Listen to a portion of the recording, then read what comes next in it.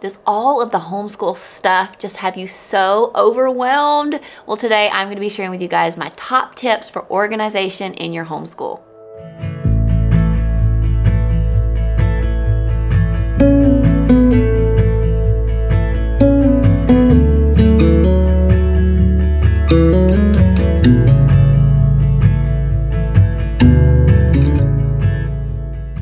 Friends, if you know me, you know I love to organize. It's one of my favorite things. I thrive on it. My label maker is like my best friend. So I've got some tips for you. If you are struggling in organizing your homeschool stuff, because let's face it, there is a lot of stuff, then I got you covered and I'm gonna be sharing my best tips with you today on how to just keep all of that stuff from taking over your whole house. So my first tip is to identify your needs and set some goals. So start with a really big picture. So what do you want from your homeschool room? How do you want it to feel? How do you want it to function? What does your family need out of that space? So when I was creating our homeschool space, my primary goal was that I wanted it to be a place where I would have instant access to everything that I needed and also a place where my kids would feel at home and comfortable and cozy, that it would just be a peaceful atmosphere. But I'm sure you have different goals. You might have kids of a bunch of different ages, maybe some high schoolers. You need some individual spaces for everyone. You need it to function well for each individual student. Maybe you have a child with ADHD, and so maybe you need an environment that really minimizes distractions and promotes concentration. But once you have some goals in place, you will be better able to organize your space and you'll have a better understanding of what your needs are. Okay, so the next thing you're gonna do is you're gonna organize your space. And this is the fun part. And the beauty of homeschooling is you can homeschool anywhere. So this can be your dining room table, this can be your front porch, this can be a coffee shop. You can have a designated homeschool room. We have done so many different things over the years. We started in our dining room. I literally took all of my china out of my china cabinets and made a homeschool room into our dining room. We did not have a lot of space in that house. And then when we moved to this house, we had a whole homeschool room, which worked out great for like a year. And then we realized that was not serving us well. So now we're back in the dining room. We have a great like built-in shelf now where we keep all of our supplies.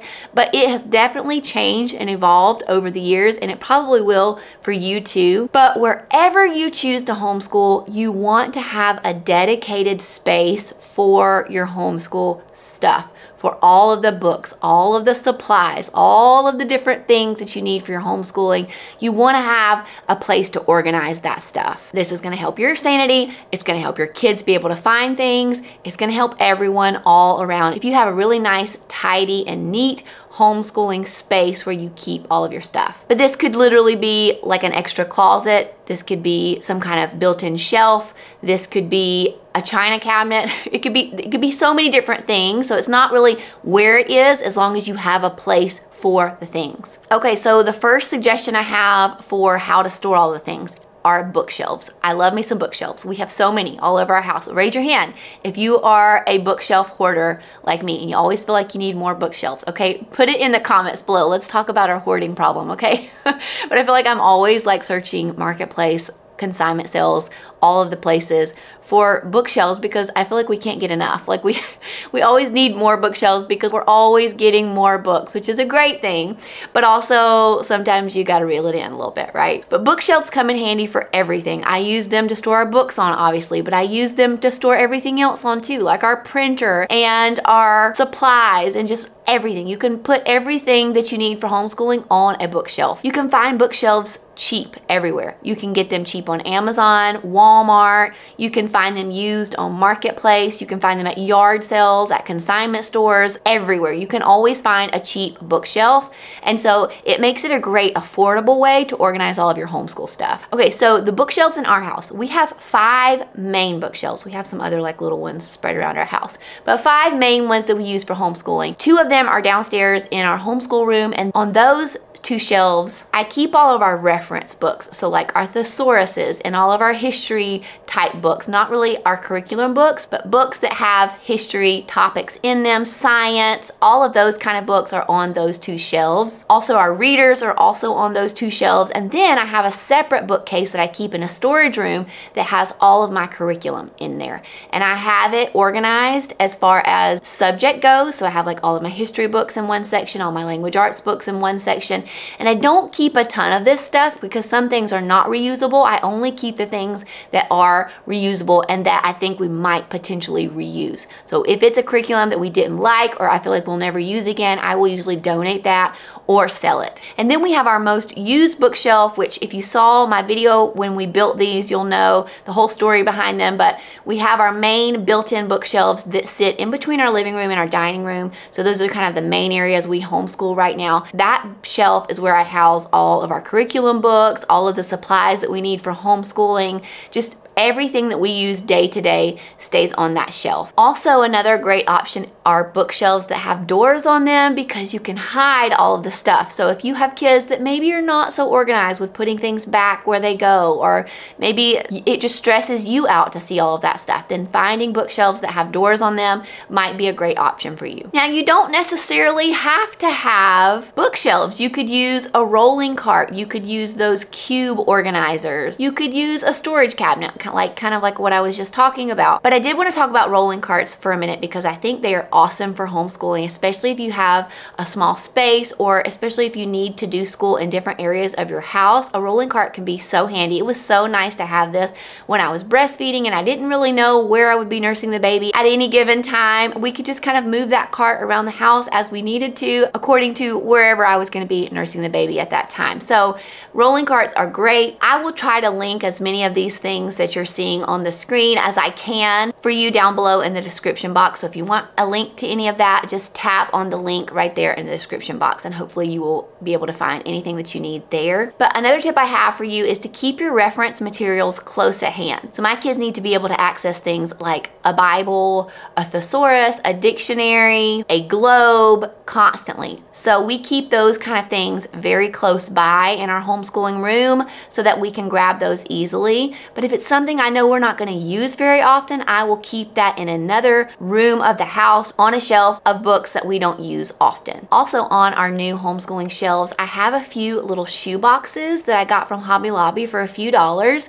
And inside those, I have things that we use a lot for our homeschool, like scissors and glue and tape and things like that. And that helps so much because I don't have to look at all of that junk because it's inside a pretty little black box, but I also can grab it really quickly and easily if I need to throw it on the table when we're about to start a craft. But the key with having things like this is your kids can use them, but they need to be sure that they put things back where they go. That is our biggest rule for things on this shelf because it is kind of in our living room. You can kind of see it. If we have guests, they see it. And so I like to make sure it stays nice and tidy so the kids know if they take things off of that shelf, and really any of our shelves in our house are like this because I have a system and an order to things. So they know if they take things off those shelves, they need to put them back where they go. And that just takes a little bit of training. Okay, supplies. Sometimes this can be really stressful because you're like, where do I put all of the pencils and the glue and the scissors and just all of the things that you need for your homeschool day? Well, you can actually keep these right on the table right in front of you. They make all kinds of really fun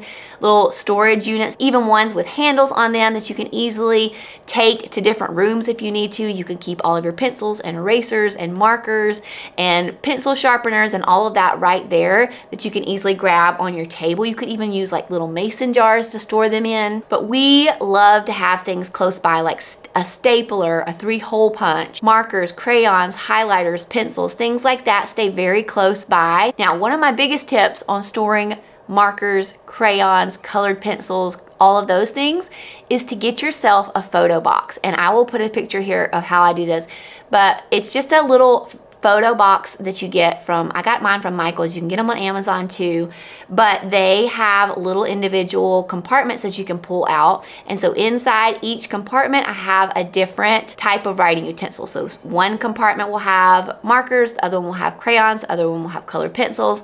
The other one might have even like math supplies. Like for my oldest, he doesn't use a lot of crayons. So for one of his compartments, he has things like a protractor and die and a little timer in there. So he has a little little bit different.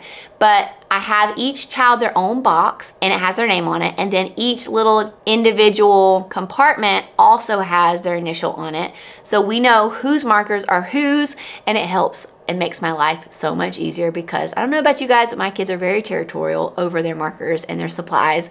And so having this system just cuts down on the fights and the whining and the fussing and it helps so much. So highly recommend getting yourself some of these boxes. These boxes stay on our main homeschool shelf and usually at the beginning of the school day, they all pull down their box, pull out what they need, and at the end of the day, they put it all back in their box and back on the shelf and it works so great for us. And we have had no fights over markers since we started this. I think this will be our second year doing it. The sky's the limit as far as how to store all of these things, but you definitely want to make sure that they are within arm's reach. Okay, so curriculum storage. This can be a big concern. Where do we put all of the books? Because sometimes there's a lot of books depending on what curriculum you're using, but we love these wire bins from Target. We have had these, I think this might be our third year using them.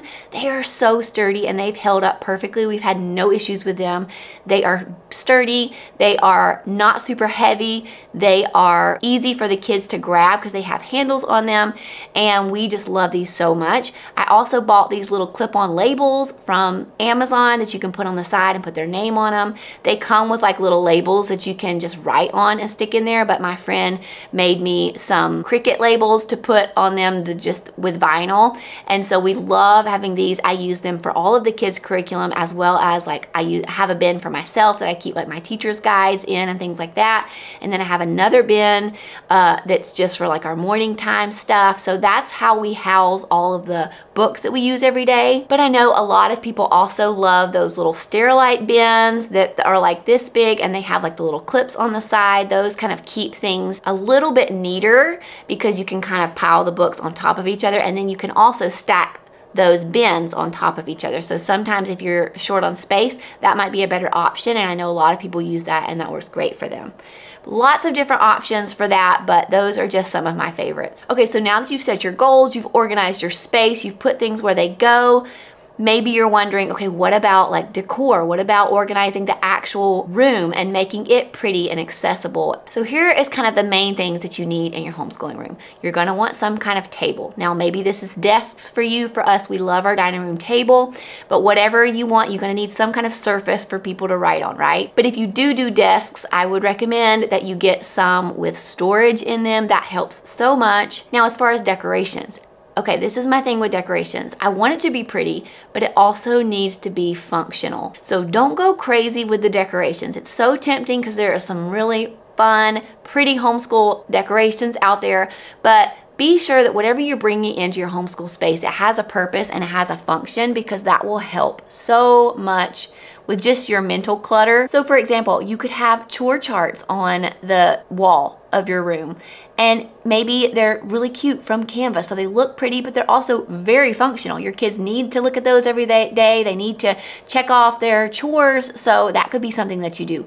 Or maybe you get just a really pretty clock in there. Like we have a really pretty clock in our homeschool room, but like we need the clock because we stick to a schedule in our homeschool. So we need to know what time it is. So that's very functional. Maybe it's a really pretty globe because you can use that for geography, but it's also a really pretty decoration. Now I also love our homeschooling room to feel cozy and warm and inviting because my mom always did that for us growing up as homeschooled kids and I, it's just a memory that is ingrained into my mind and I just cherish those memories of when my mom, we were doing school and I could smell freshly baked bread or she had a candle lit or some pretty music playing in the background or blankets spread throughout. And so that's something I try to recreate for my kids is just a really cozy atmosphere. So I'll set out blankets, I'll turn a candle on, I'll turn some music on so just think of things like that too when you're thinking about your homeschooling space and environment. Now where do you put all the papers? That's a big question I get asked a lot and this can be tough and I wasn't quite sure how to do it at first but I think I found a system that works great for us at least so maybe this will help you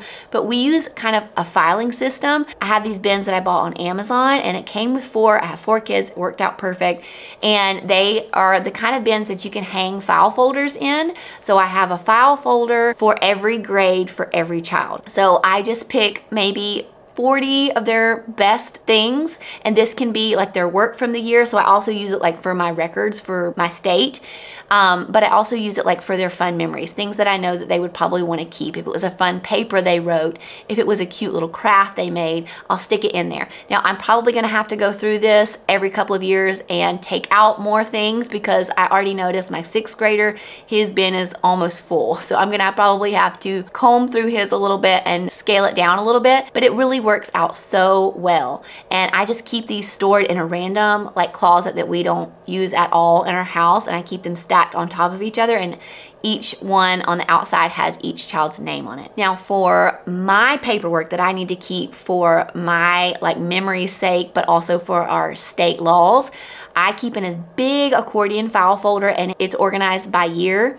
And so I put things in there like um, my kids' attendance records, how many days we went to school. Um, I keep exactly what we did every day in there. So I just pull out the pages from my planner where I wrote down what we did each day. I keep all of that inside an accordion file folder that is organized per year. And right now I've kept all of it. So I, I people often ask me, how long do you keep those things? And I'm not totally sure the answer on that. I would think like at least five years, but it's been five years for us in homeschooling and I'm still keeping our stuff. I'm thinking once my file folder fills up, then I might start taking some things out. But right now I have plenty of room, so I'm not really worried about that. And I don't keep a ton of stuff in each year either. It's just, it's strictly just what I need for my homeschooling laws. And I really don't, I think I said memorabilia things in there, but I don't even keep stuff like that. I keep the memorabilia stuff in the kids' bins. Now throughout the year, I have just a little basket that sits on a shelf downstairs, so it's not even in our main homeschooling room, but I keep a basket there of paperwork that I need to file away, and I do this twice a year. So in December and then at the end of the school year, I will file it all away in the kids' bins, but until then, it all just stays in that basket in the homeschool room. Okay, friends, those are my top tips on how to organize your homeschool space. I hope that that was helpful and inspired you and gave you some good ideas ideas. If you like this video, please give it a thumbs up and subscribe to my channel if you haven't already. I would love for you to stick around and I will see you guys back here next time for another video. Bye friends.